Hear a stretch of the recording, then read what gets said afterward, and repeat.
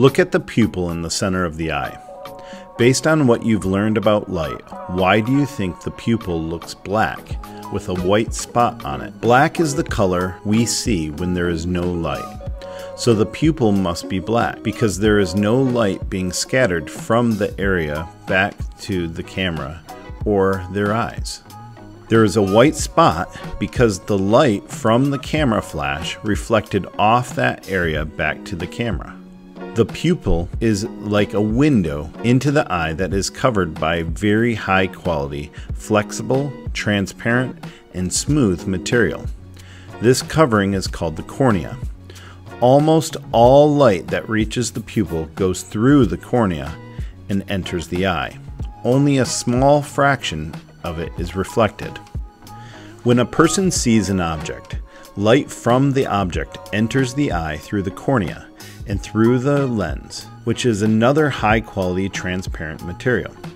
The iris is the name for the colored ring you can see around the pupil.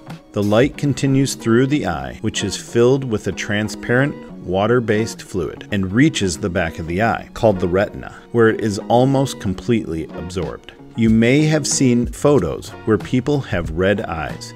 This red eye effect is the result of red light that has been reflected by the retina come back out of the eye through the lens, pupil, and cornea and continued moving until it reaches the camera.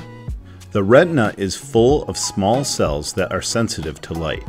Some are sensitive to different colors of light, and those are called cones because they are shaped like pine cones. Others shut down normal light levels and become active only when light is very weak. When the light is this weak, the cone cells do not work. The cells that work only at very weak light intensities are called rods. They are rod shaped. When the light hits any of these cells, they produce an electric signal that is carried by the optic nerve to the brain.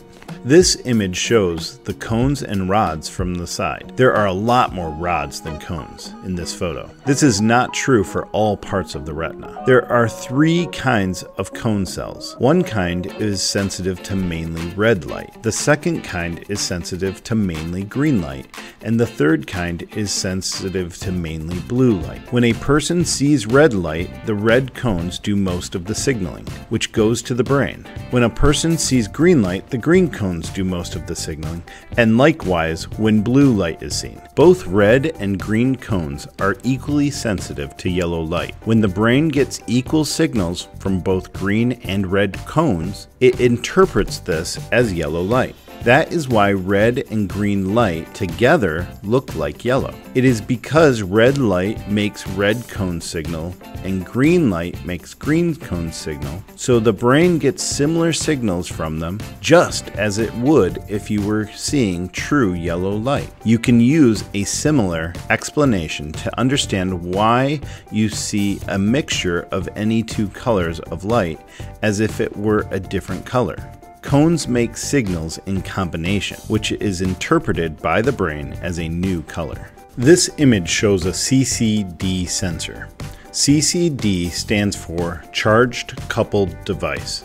Its actual size is 30 millimeters across, or about 1 inch. You can see the small square in the bottom right hand corner of the CCD sensor. Each pixel in the enlarged image sends an electrical signal from the CCD sensor to a miniature computer that is in every digital camera. The pixels are arranged in groups of four one red pixel, one blue pixel, and two green pixels.